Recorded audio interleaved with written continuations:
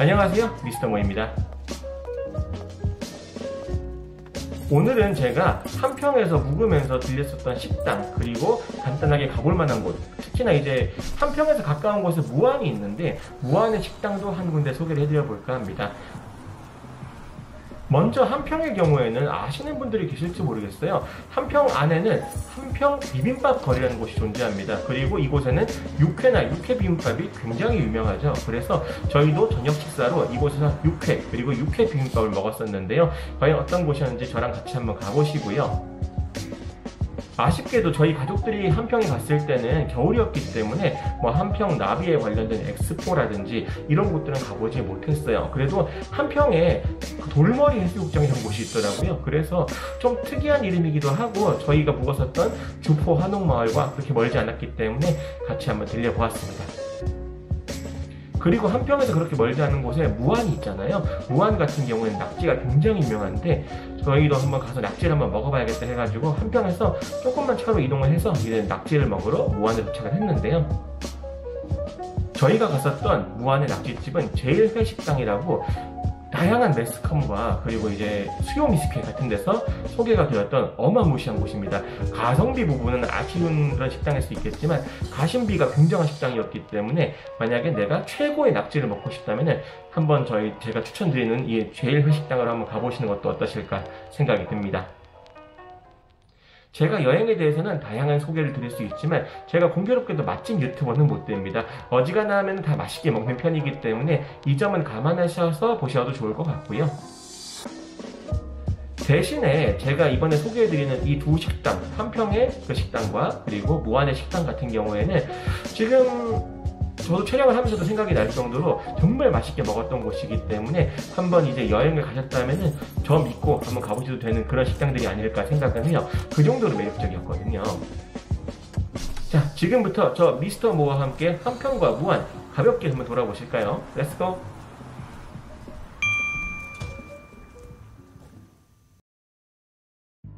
먼저 소개해드릴 곳은 함평의 초록식당입니다. 이쪽에 이제 육회 비빔밥 거리가 있는데 그 거리에 있는 가게들 중에 하나예요.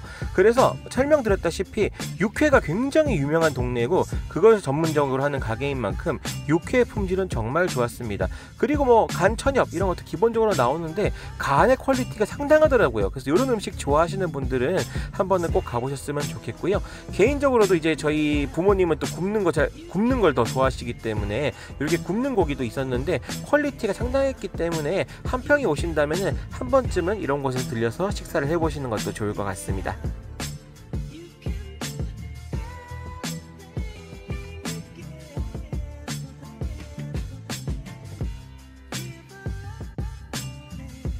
사실 함평은 봄이나 가을에 오면은 볼만한 것들이 꽤 많아요. 특히 봄에 오면은 정말 멋진 곳들이 많은데 이제 가을 같은 경우나 겨울 같은 경우에 오면은 사실 볼 데가 별로 없습니다.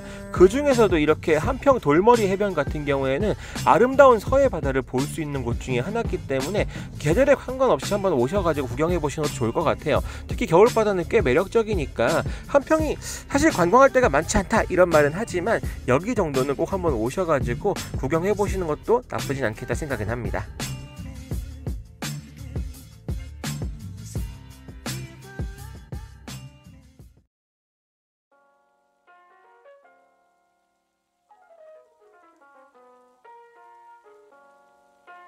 어쩌면 오늘 영상의 가장 하이라이트가 될 수 있는 무한 무안의 제일 회식당이고요. 여기 같은 경우에는 워낙에 많은 소개가 있었던 곳이에요. 특히 수요 미식회에서 정말 넘버원으로 꼽았던 가게이기도 해서 정말 저도 기대를 많이 하고 갔습니다. 지금 금액표도 지나갔지만 정말 금액대는 많이 비싸요. 그래서 한 저희도 다섯 명에서 가서 한 25만 원치를 먹고 왔긴 했는데 좀 비싸기도 비싸지만 충분히 그 비싼 값어치를 해주는 식당이 아니었나 생각합니다. 특히나 이 기절낙지 정말 미칠 듯이 맛있었어요. 아마 사람마다의 호불호는 있겠 보시겠지만 기절 낙지 이렇게 보시면은 이 낙지를 소스에 담그면은 애가 꼬부락 하면서 이제 살아나요. 기절했던 게. 그러면서 딱 입에 넣으면 탱글탱글한 맛이 일반적이진 않습니다. 그래서 개인적으로도 한 번은 꼭 드셔보셨으면 좋겠다. 특히 낙지 매니아들한테는 정말 괜찮은 식당이 아닌가 생각을 해요. 그래서 일부러 찾아갈 정도다까지는 모르겠지만 오셨다면 내가 큰 돈 지출해가지고라도 맛있는 걸 먹겠다 하신다면은 정말 좋은 식당이었다. 특히 사장님이 너무 친절하셔가지고 그것마저도 감동이었던 것이 아닌가 생각합니다 강추드리는 식당이에요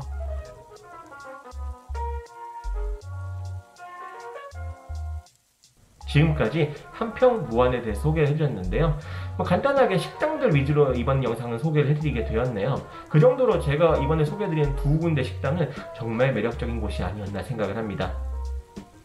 특히 한평에서의 초록식당 여기는 육회도 정말 맛있었고 소고기가 정말 신선했어요. 그래서 육, 하면 한 평에 가보시면은 그 육회 거리 아니면은 비빔밥 거리에 다양한 가게들이 있지만 제가 갔던 가게도 꽤 매력적이었던 점 참고해 주시면 좋을 것 같고요.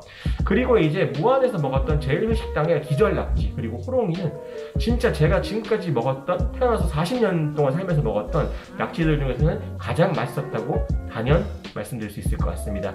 단지 이제 금액대가 굉장히 비싼 편에 속하기 때문에 이 점은 감안하셔서 가심비 형태로 한번 가보시는 건 어떠실까 생각 들어요. 지금까지 미스터 모였습니다. 다음 영상에서도 좀 더 즐겁고 알찬 영상으로 인사드리도록 하겠습니다. 감사합니다.